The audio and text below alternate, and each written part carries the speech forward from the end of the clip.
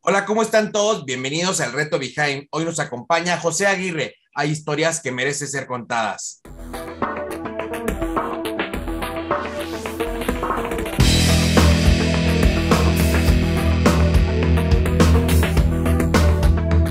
Behind the Meetings Industry. ¿Qué tal a todos? Soy Alex James y esto es el Reto Behind Me, donde al terminar, el invitado nominará a alguien más de la industria de reuniones para continuar con esta dinámica. Agradecemos el gran apoyo de EDG Internacional, Exhibiciones Vanguardistas y Expo Industrias GDL, los gigantes de la industria, líderes en el mercado con más de 30 años de experiencia internacional en SaaS Customs y sistemas Octanon. Les dejamos su contacto en la descripción. Hoy nuestro invitado nos viene a platicar acerca de su historia a través de la industria de reuniones. Demos la bienvenida a José Aguirre, director de Standex. Hola, ¿qué tal José? ¿Cómo estás? ¿Qué tal, Alex? Muy buenas tardes. Gracias por, por el tiempo. Oye, pues qué bueno que nos acompañas. Oye, nos gustaría que nos platicaras, para los que no te conocen bien, este, pues un poquito de quién eres y qué es lo que haces actualmente. Bueno, yo soy José Aguirre, soy director general del Grupo Standex, como lo dijiste hace unos momentos. Eh, somos parte de la industria de turismo de, de reuniones. Eh, nuestra empresa es una empresa con 28 años de, de trayectoria. Eh, y, y, estamos enfocados 100% al área de turismo de reuniones, con, con, servicios enfocados a este segmento. Oye, pero pues tú ya tienes este, todo este tiempo con esta empresa, me, lo que me comentas, ya, más, ya van para 30 años. Bueno, 28 años, ya nos falta poquito, ¿no? sí, ya, ya 28 años de, de, de, de, trayectoria. Y realmente fue una migración, porque nosotros iniciamos este, eh, hace 28 años como un DMC en Acapulco. Eh, y, y, después migramos hacia el área de, de, exposiciones y lo fuimos complementándolo con otros servicios y ya nuestro core business ya es el área de turismo de reuniones. Oye, pero ¿cómo nace esta empresa? Este, ¿Tú desde hace cuánto tiempo llevas trabajando en ella? Bueno, mira, eh, yo soy licenciado en turismo uh -huh. y entonces toda mi vida me he dedicado al área de turismo. Uh -huh. eh, inicié obviamente pues en una parte, un par de hoteles, pero no tiene tanta relevancia realmente en mi trayectoria profesional. Y después inicié en el área de turismo receptivo, con, trabajando en Acapulco con los TMCs más importantes. Y trabajé algunos años para algunas empresas hasta que tuve la oportunidad de, de iniciar el negocio eh, y dedicarme a atender ciertas convenciones en Acapulco. Y de ahí fue donde fue, inició la trayectoria este, hace 28 años exactamente. Entonces, este, es donde hemos estado principalmente. ¿no? Oye, y este, pues bueno, ya muchos años, pero recuerdas, este, pues no sé, vámonos más atrás, cuando estabas más chavo, ¿cuál, cuál fue tu primer trabajo? ¿Qué era lo que hacías? Bueno, quiero decirte que hice muchas cuestiones fuera del área de, de, de, de turismo. Realmente este, pasé unos años en León, Guanajuato y, y, y, me dedicaba a temas que eran completamente ajenos de esta industria, aunque mamá trabajaba en un hotel, en Hotel Condesa en León, y tenía mis pininos ahí observando cómo se manejaba un hotel y la recepción, pero realmente yo me dedicaba a la compra-venta de otros artículos, estaba muy joven, ¿no? Este, yo realmente llegué aquí a Acapulco a los 17 años, entonces no tuve tanto tiempo de otra trayectoria y toda mi vida ha sido realmente turismo. Desde que llegué a Acapulco yo me enamoré de lo que iba a estudiar. Yo llegué aquí a la Universidad de Guerrero a estudiar turismo y yo me enamoré de, del turismo realmente. ¿no? Para mí es una pasión eh, el, el, atender grupos. El, en ese tiempo que yo trabajaba con, con unos EMCs y manejaba mucho turismo canadiense y americano, que era el boom en Acapulco y, y, y ahí inicié realmente este, y la, estaba en la universidad y practicaba también pues directamente con los extranjeros. Entonces aprendí inglés y francés muy rápido. Y entonces pues me convertí en, en, en, maestro de ceremonias de algunos yates en Acapulco, de algunas discotecas aquí en Acapulco, en, ese, en esa etapa de mi vida. Y ya después ya me dediqué realmente a, a este segmento tan maravilloso que es el segmento de turnos de reuniones.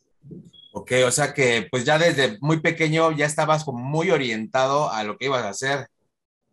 Es que turismo es servicio, Alex, y a mí me encanta atender a la gente, servir a la gente.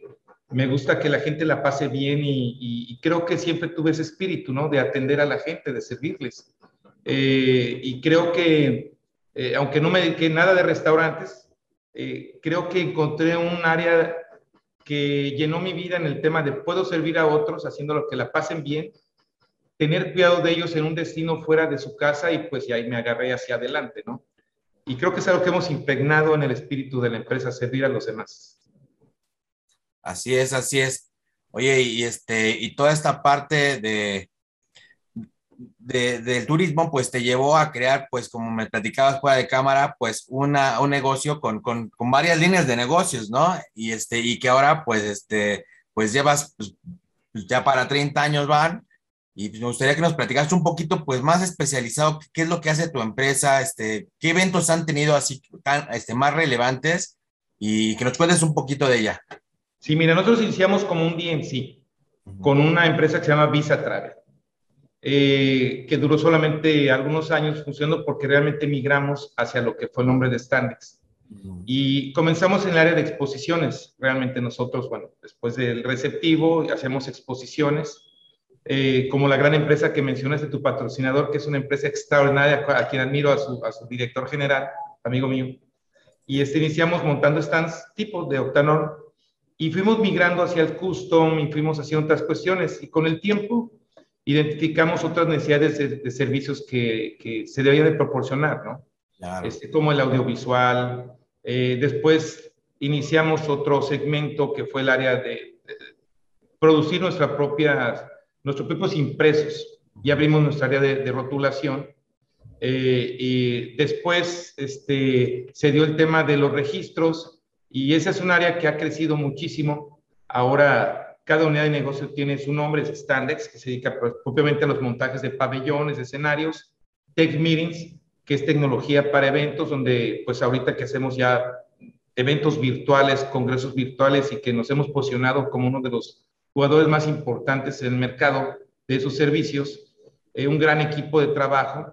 Tenemos el área de audiovisual, tenemos el área de Syndex, que es el de rotulación, y el área de Visa Travel, que seguimos conservando eh, porque de alguna manera atendemos a algunos grupos y proporcionamos traslados terrestres, aunque ya no nos dedicamos tanto a eso.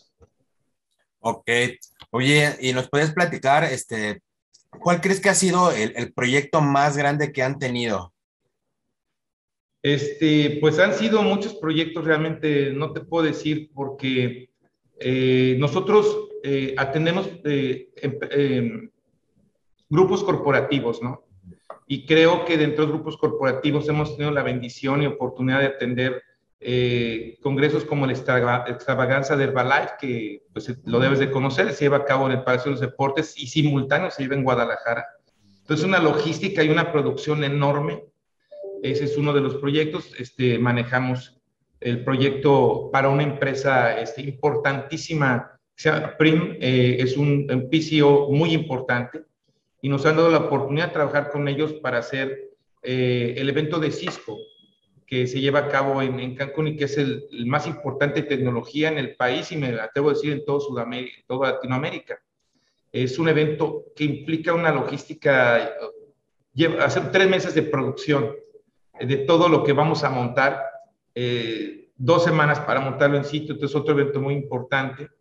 Eh, quiero decirte que, que nosotros tenemos aunque nacimos en Acapulco, eh, tenemos oficinas en Cancún, tenemos oficina en Puerto Vallarta, en León, Guanajuato y una oficina en Madrid también. Entonces, creo que Cancún se ha convertido en una oficina importantísima para nosotros, donde tenemos ya una cuestión de negocios más alta que realmente en Acapulco, ¿no? Eh, con un turismo y un tipo de negocio extraordinario. Eh, yo creo que, hay muchas historias que te podría contar de eventos que nos da mucha satisfacción, ¿no? Pero creo que esos eventos que menciono, como los que es Herbalife, lo que es Cisco, es de los más importantes y relevantes. Ahora, nosotros producimos pabellones sí. y hacemos pabellones de distintas cuestiones. Participamos mucho en el área también de, de, de, los eventos turísticos, como el Tianguis Turístico de Acapulco, donde nosotros hemos montado los pabellones de diferentes estados, en Baja California Norte, Nuevo León, Colima, eh, eh, Guerrero, que es el que nosotros hemos producido más constantemente y que nos dan muchas satisfacciones, el tema del pabellón de Guerrero y bueno, eh, los colegas en la industria le han aplaudido mucho los pabellones que hacemos porque Guerrero es muy temático. Eh, también con mismo Guerrero nos pidieron que apoyáramos en, un evento en la Feria de Fitur en España. Y en los últimos tres años hemos ganado dos años el primer lugar como mejor pabellón a nivel país. Y somos Estado. Pero, digo, ya gana, llevar dos premios como primer lugar en España. Y el tercero no, no lo pueden dar porque ya no pueden tres premios. Pero este, el equipo de trabajo, los diseñadores, eh, realmente es cuando diseñan un, espacio, eh, entienden la temática, el color, y eso nos ha funcionado mucho en esos pabellones que, montamos para Guerrero. Wow, no, pues sí, felicidades por, por esos dos premios, pero ¿cómo está eso? No pueden darte tres premios de, esos, no te los puedes ganar. El, comité organizador en, en, Fitur dijo que no era posible, entonces lo dieron a Corea el último año, eh, el penúltimo año que se llevó a cabo Fitur, el 2019. Y este, no, no es cierto, fue el 2000, 20, 2020 que se acabó Fitur y, este, y se lo dieron a Corea. Pero así como es el área de montaje, te puedo decir de otros eventos extraordinarios que hemos hecho en el área de tecnología, ahorita en, este, en esta pandemia, este, que tuvimos que buscar una alternativa porque nuestra planta laboral era de 240 colaboradores. Sí. Tuvo que reducirse dramáticamente y tuvimos que buscar alternativas de ingresos, como todos los colegas de la industria. Entonces desarrollamos unas plataformas virtuales combinando lo que es nuestros diseñadores de, estructuras, de stands, con los eh, programadores y desarrolladores del área de, en, Tech Meetings. Y logramos hacer un match excelente. A tal suerte que ahorita manejamos, yo creo que dos de las convenciones más importantes que hacen rutas a través del país virtuales, con dos clientes magníficos uno dedicado al área de tecnología, otro al área de, consumibles, de comestibles, eh, de abarrotes. Y creo que, nos dio una gran satisfacción saber que pudimos adaptarnos, que tuvimos el equipo adecuado para lograr innovar en ese tiempo.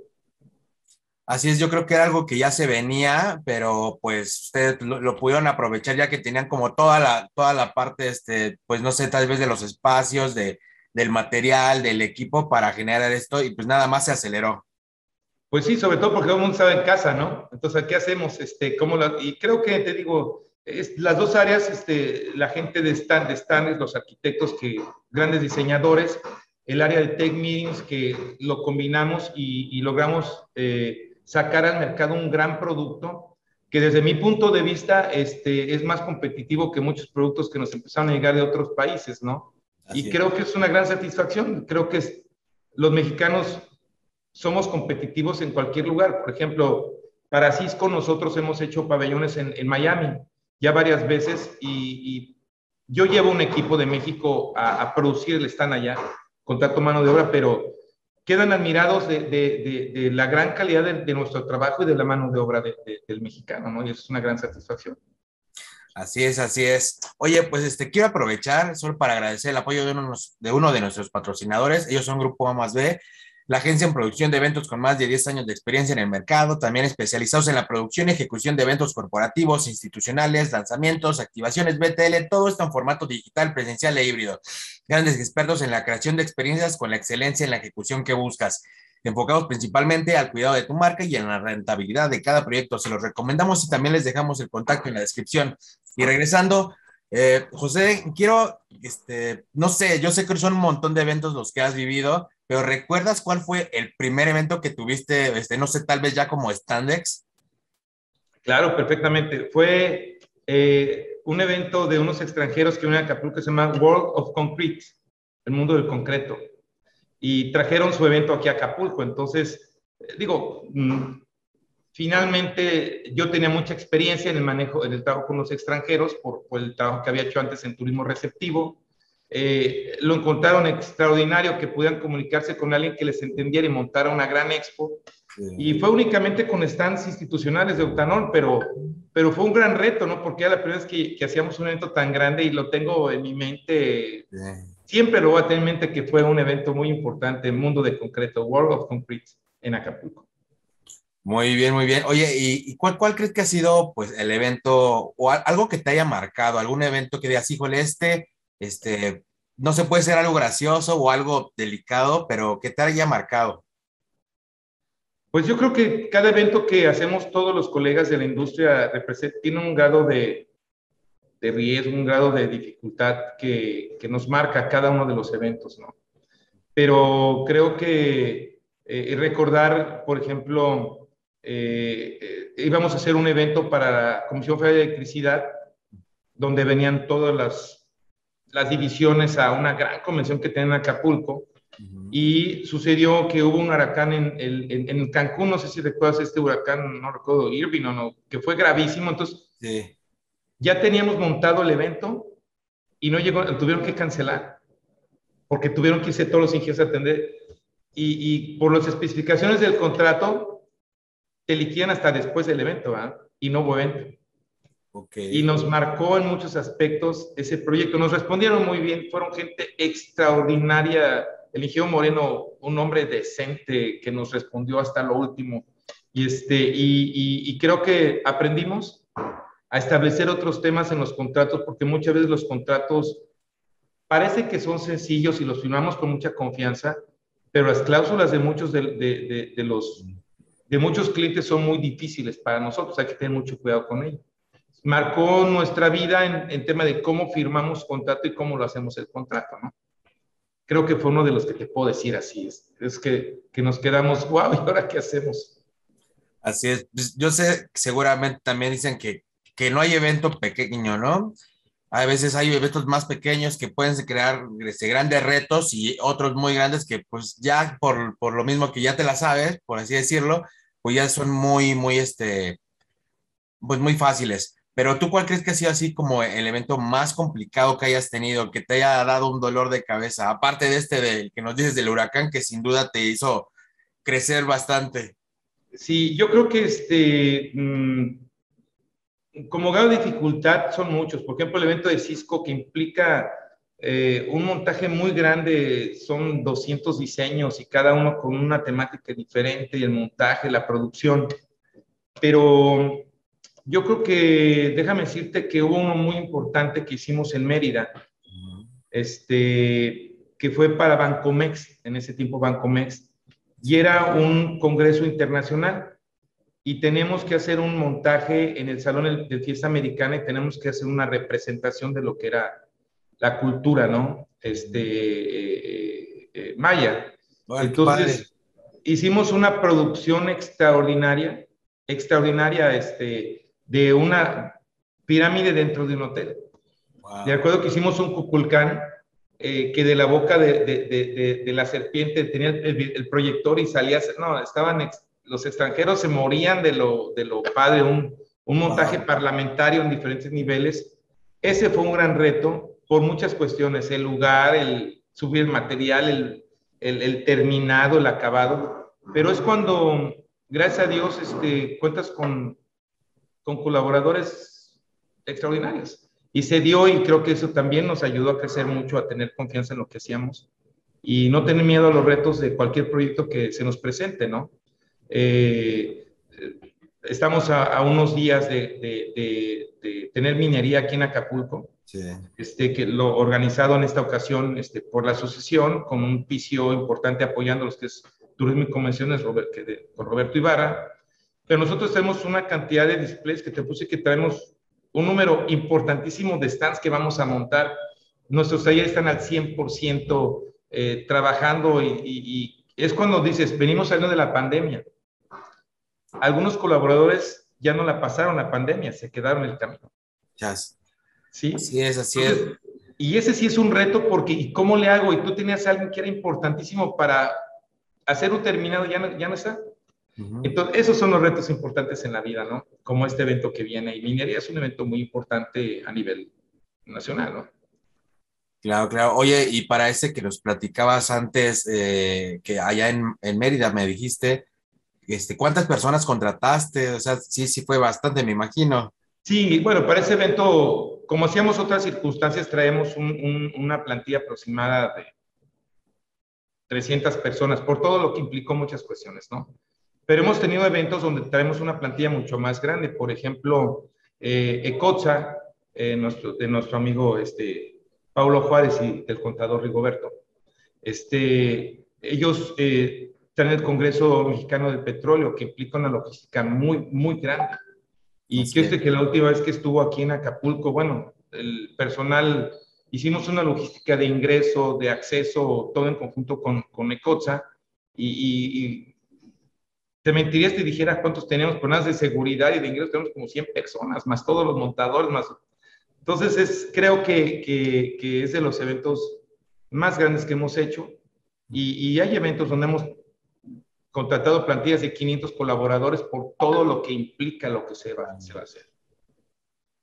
No, pues qué impresionante, pues, muchas felicidades y pues bueno, ya ahorita que ya está reactivando cada vez un poquito más rápido, pues este, volveremos a esos números, esperamos muy pronto. Quiera Dios y ya estemos todos, ya ansiamos todos estar en esos números. Sí, caray. Oye, este, quiero preguntarte un consejo que, que tú pudieras darle a las nuevas generaciones que inician en, en este sector. ¿Cuál crees que sería? Mira, la misión de la empresa de Grupo Standard es servir a Dios con nuestro trabajo. Esa es nuestra misión, servir a Dios con nuestro trabajo. Eh, ¿Por qué? Este, creo que el tema de lo que hacemos es servir. Y el consejo hacia la gente que va a iniciar una, una, una empresa, eh, que va a iniciar un, en la industria una dinámica, es que antes de, de, pensar lo que voy a ganar es cómo voy a hacer, eh, cómo voy a servir a, a quien me pide un, un, servicio, ¿no? ¿Cómo lo hago quedar bien? Porque cuando alguien te contrata un stand o un traslado o una imagen, espera que esté bien hecha y el cliente quiere llegar con la confianza que llega únicamente a montar, ¿no? este, o a utilizar su espacio, a utilizar su servicio. Eh, y, y, muchas veces yo me da pena ver que muchas empresas este, engañan a los clientes sí. Dándoles un precio bajo, ofreciendo mis cosas y al final no les dan un buen servicio. Y es decepcionante ver a una persona eh, que va a tener un y, y no lo recibe. Entonces, mi consejo es ser honestos, dar lo mejor de ellos, dar el 5% más de lo que les piden, pero tener en mente que es servir a los demás, eh, no únicamente servirse de ellos y sacar el, el, el resultado. Eh, no sé, Alex, no te podría dar otro mejor consejo para ustedes. Quisiera ese consejo, qué es lo que tienen que ver, ¿no? Porque la gente primero quiere ganar dinero y después quiere dar un buen servicio muchas veces. Así es. No, pues toda la razón y, y, qué buen consejo, de verdad. Yo creo que es algo de lo que me enorgullezco que, que llevo así, pero bueno, este, pues ahí se los dejamos también. Y ahora también quisiera preguntarte si pudiéramos regresar en el tiempo y te encontraras a ti cuando iniciabas en la industria, ¿qué consejo crees que te darías?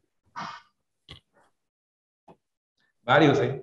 sí. El primero es, no vendas barato, no des, no, nunca regales tu trabajo. O sea, yo creo que, que, se paga por aprender, ¿eh? Cuando uno va iniciando, se paga por aprender definitivamente. A mí me tocó a través de clientes muy difíciles y, y no digo muy buenos, ¿no? Pero difíciles, feos. Sí. Pero gente extraordinaria que de verdad me hizo, me sacó canas verdes, pero que yo les tengo un cariño enorme y son de los PCOs más importantes. Si tú me permites mencionar algunos, claro. eh, tengo, tengo un gran aprecio por el doctor Jorge Listeni de BP Servimet, que es una, un tipazo, una, una institución en la industria. Me tocó trabajar con turismo y convenciones con Poncho Carrera y con, y con Roberto desde un principio también. Eh, y son gente que de verdad, este, yo me daría el consejo de, de, de, algunos de ellos son mis amigos, o sea, que son mis amigos, y mi consejo sería a los que no son mis amigos, haberlos hecho mis amigos. Ese es una reflexión que estamos aquí para ser amigos. Sí, y déjame decirte que, que, yo también uso mucho esta parte de primero amigos, luego negocios, ¿no? Entonces, entre más amigos, pues más negocio también. Sí, claro, claro.